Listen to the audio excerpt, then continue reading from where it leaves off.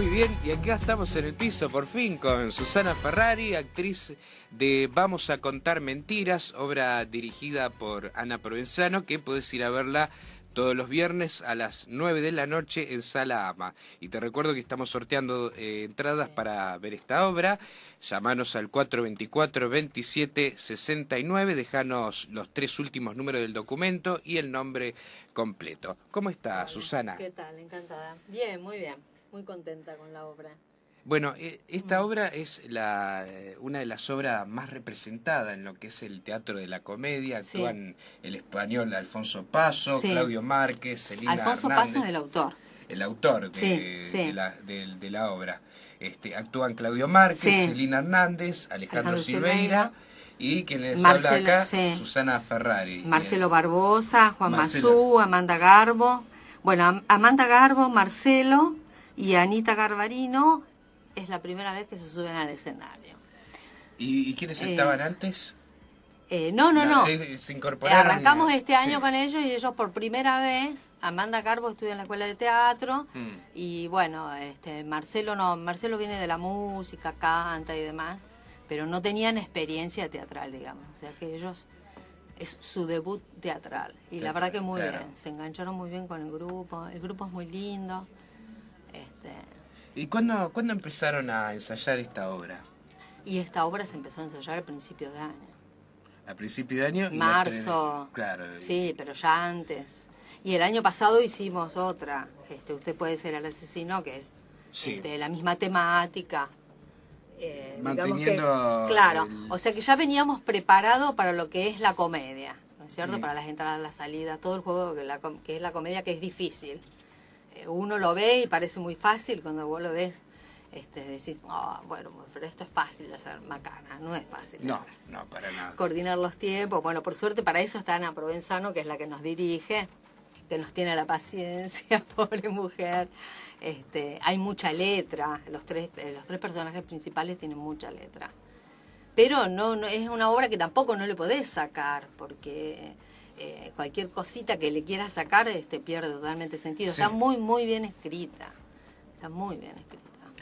Ahora, eh, ¿cómo te llevas con, con, tu personaje en esta obra? Contanos un poco sobre el personaje que interpretas. Sí, mi personaje eh, es un personaje muy gracioso, así como este con un aire de, así de, mucha simpatía y es, es muy cándida y es una vecina, es la típica vecina entrometida.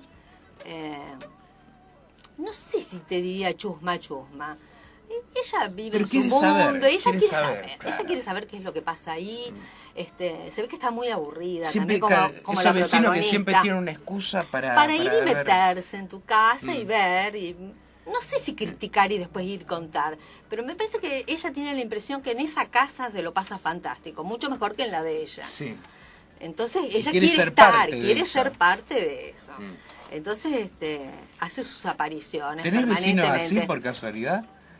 No, yo era así cuando era chiquita.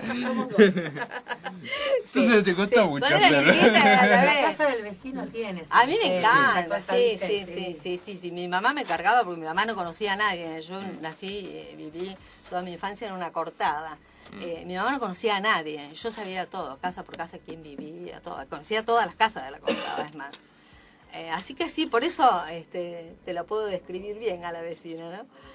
Eh, es así, no es una vecina que chusmea ni nada, y ella quiere saber y, bueno, y medio que se ve involucrada también por la protagonista en, todo, en toda una mentira de ella. Vamos a contarle un poco al público eh, sobre la trama de esta obra para quienes todavía no la vieron. Yo se las recomiendo, está todos los viernes 9 de la noche en Sala Ama, la pueden ir a ver. Contanos de qué se trata. Bueno, es la vida de una pareja en la cual ella es una eh, está muy bien económicamente y ella es una mujer que fundamentalmente lo que está es muy aburrida. Eh, tienen amigos, se ve que tiene un nivel de vida interesante, pero no le basta a ella, eso porque se aburre, porque no tiene una vida propia, digamos.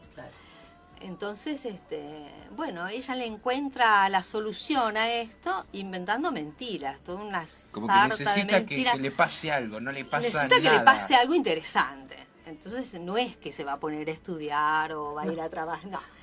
y no, porque en la época que está situada la, la, la obra, te describe muy bien lo que era la mayoría de las mujeres en esa época.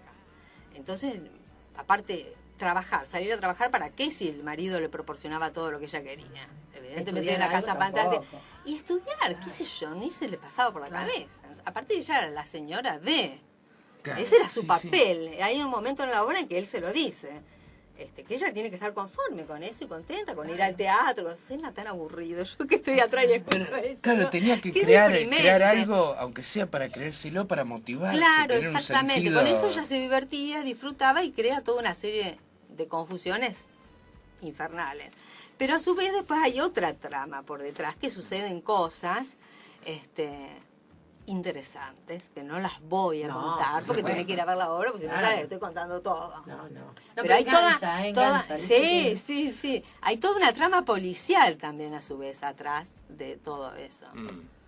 Eh, por eso ellos tres este, están mucho en escena, hay algo mucha que letra. rompe con esa sí, exactamente. sí, sí, sí. de que no pasaba nada, de repente pasa de todo. Sí, pasan muchas cosas.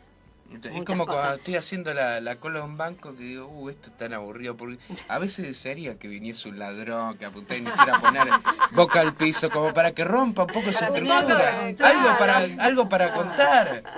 Bueno, ella va a tener mucho para contar después. de sus hijos. No tiene hijos tampoco esta mujer, nada. O sea que no.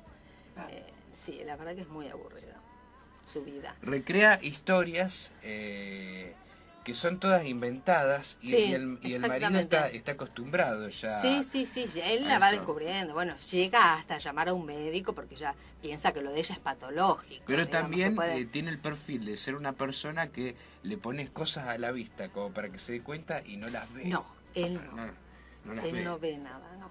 No, no, no, no. Entonces ella sale en búsqueda de, de, de algo, de, de una de una de una aventura de ocuparse de algo de algo y claro no se le da por ocuparse de algo útil qué sé yo no sé. Podría haber hecho caridad por ejemplo una dama de caridad pero sé que no le gustará qué sé yo es una mujer joven también. mm pero ponerle, aparece y te pone un objeto acá y te, te ah, genera sí, sí, claro, no, sí, le va generando toda una intriga al marido, tanto como porque el marido ponga un poco de atención en ella también, porque se ve que mucha bolilla no, le da, el marido está en la suya y pretende que ella cumpla ese papel de figurita, digamos, de la mujer de... Entonces, este, sí, sí, él va. claro, sí. Porque todavía pasa. Y sigue pasando, sí, sí, sí, sigue pasando porque los cambios, viste, no se dan de golpe, así mm. todo cambia.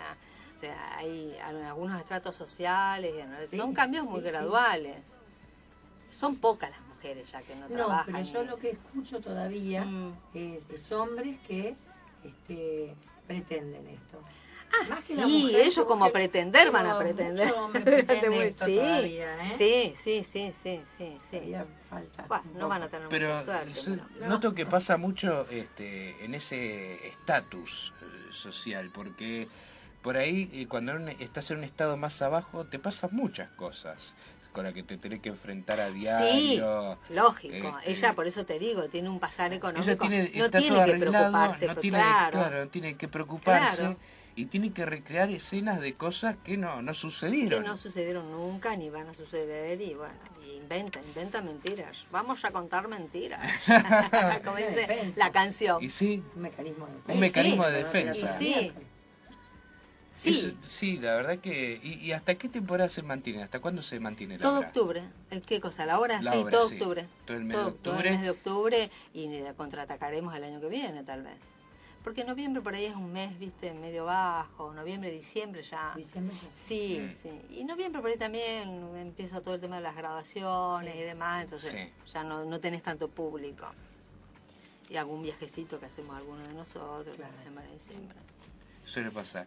Bueno, le recomiendo entonces a la gente que vaya a ver, este, vamos a contar mentiras, se van a reír mucho. Sí, la fuimos a ver eh, de principio a final. Me llamó la atención los chicos, cómo se ríen. Chicos chiquitos, ¿eh? Y chicos jóvenes. Porque, por ejemplo, fueron los compañeros de Amanda, eh, que son chicos que no han visto nunca este tipo de teatro. Va, no, usted tampoco, estos son todos chiquitos. Eh, y les gustó, y les gustó, se rieron mucho. Así que bueno, vamos a contar mentiras, vayan a verla. Vayan a verla todos los viernes a las 9 de la noche en eh, Salama. Y te recordamos que estamos sorteando entradas para esta hora. Llamanos al 424-2769 y te damos dos entradas para que vayas a ver este viernes a las 9 de la noche. Vamos a contar mentiras. Quien está con nosotros, Susana Ferrari, actriz de la obra. Muchísimas gracias. No, gracias a ustedes, ¿eh? Un gusto. Un gusto.